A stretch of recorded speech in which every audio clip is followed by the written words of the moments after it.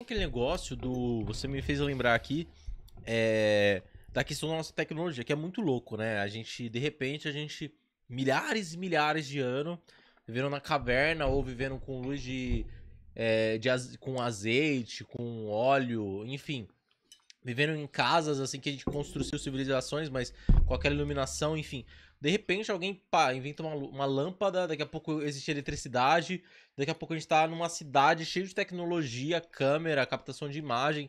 Isso é muito louco, porque, tipo, por muitos e muitos anos a gente viveu em civilizações super modernas, no sentido assim, não tinha tecnologia, a gente eh, dependia de animais e, e para poder ser carregado e, e mover de cidades em cidades para longos caminhos, e isso foi muito mais ano do que em tempo de tecnologia. E de repente a gente tem tecnologia.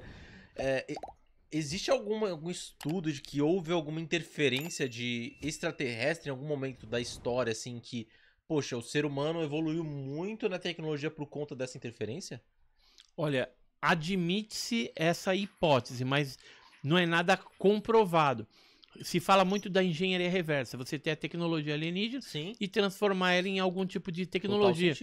né? Então, é, faz sentido esse tipo de coisa sim, mas em alguns aspectos da nossa é, civilização, isso não evoluiu. Por exemplo, na questão espacial, embora a gente tenha um, tenha um OVNI que viaje né, é, é, no espaço, etc e tal, né, a gente percebe que a propulsão utilizada nos foguetes, toda essa tecnologia ainda é muito arcaica. Uhum. Então, pelo menos para isso não serviu. Agora, a gente percebe que na questão de comunicação, celular, né, a Rádio, parte de medicina, ela medicina. avançou bastante. Então, a gente tem avançado. Tem que dar um desconto que o, o ser humano é inteligente também e é capaz a ponto de, de evoluir, né, e descobrir. Mas se a gente olhar um pouquinho para trás, a gente vai ver que esse avanço foi um pouquinho mais acelerado do que o normal. É, porque, assim, uma coisa é. Eu entendo que as guerras, as grandes guerras que ocorreram provocaram essa aceleração da tecnologia, né? Porque que nem a qualquer crise mundial cria isso. A própria medicina evoluiu muito nesses últimos anos, né? Por conta dos acontecimentos que tivemos aí em relação à saúde. E então a tecnologia faz sentido sim. Al- al- Algum movimento ocorreu e fez, ocasionou de, de levar. Mas faz sentido, porque assim, a quantidade de- Faz sentido porque na, na medida em que avança o tempo, as pessoas vão aumentando a quantidade de civilização, então a probabilidade ali vai melhorando de que alguém, em algum momento, descubra algo novo. Então faz total sentido, né? Porque vai aumentando, vai tendo muito. Que nem na própria China lá, a probabilidade de aparecer pessoas gênias ou com algum tipo de é, gigantismo ou alguma anomalidade por conta da probabilidade de. A probabilidade entra em cima da quantidade de- da civilização, né? Então, tipo Uhum. assim, faz total sentido.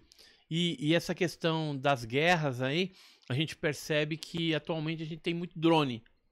É. E o drone nada mais é do que a sonda ufológica que acontecia e aparecia no passado, na década de 80, de 90. Que loucura. Então, provavelmente, alguns desses objetos menores já foram capturados, foram melhor estudados e transformados numa tecnologia que hoje a gente chama de drone aí, porque esses drones fazem exatamente os movimentos que um objeto voador Sim, é não identificado similar- fazia similar. no passado. Né? Hoje a gente tem é, esse dificultador na identificação do fenômeno OVNI autêntico por conta do drone, que pode ser uma tecnologia advinda através da engenharia é reversa. Verdade, é verdade, faz sentido. E, e assim, apesar dele não ser aquele disco girando, né? É, que necessariamente pode não ser também, né? Pode ser como seja uma hélice escondida ali, alguma coisa do tipo, né? Pra poder fazer funcionar ou flutuar, sei lá. É, é muito semelhante as características, né, do que, que a gente tem. E outra, se você pegar assim os filmes bem antigos, antes mesmo do drone ser uma coisa super convencional, assim, utilizada, porque eu acho que até então era usado só pelo exército, né, esse tipo de, de tecnologia. Sim. E, e ainda assim era algo bem limitado, porque não tinha esse alcance que a gente tem. Hoje em dia você compra um drone que vai até outro outra região, assim, vários quilômetros de distância você consegue pegar ele. Naquela época Até não outros tinha. países, né? Aí sim, porque Até o alcance é- hoje tem o alcance da internet também, você Uhum. consegue conectar na antena ali, sei lá, no Em alguma coisa você No conectou satélite. satélite. Então você consegue monitorar a distância, né? Uhum. Agora, se a gente pegar isso há uns muitos anos atrás, assim, não tinha isso e já tinha sido identificado esse tipo de fenômeno, né? Já.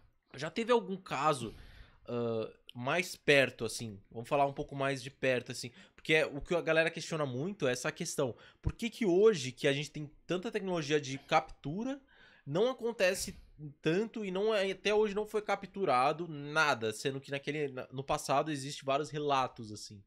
É, tem algum motivo? Alguma coisa assim? Assim, as capturas ocorrem, sim, mas geralmente há uma, uma mobilização muito forte dos militares no acobertamento desses fatos. Então, assim, tanto tecnologia, seres, acontece. Eu sei um monte de casos. Só que geralmente isso vai parar onde? Em arquivos é, ultra secretos, arquivos de inteligência que são inacessíveis à população comum. Uhum. O que vem a público são apenas é, a ponta do iceberg, ou seja, relatórios de classificação mais rasa, reservado, confidencial. Eventualmente um secreto, mas ultra secreto não vem por questões do acobertamento e dos acordos que existem entre, por exemplo, o Brasil e os americanos e outros Sim. países também. Olha, se você ainda não é inscrito nesse canal, não se esqueça de inscrever e deixar seu like se você gostou desse corte. Outro detalhe importante é que se você quer assistir esse episódio completo, o card está logo aqui em cima.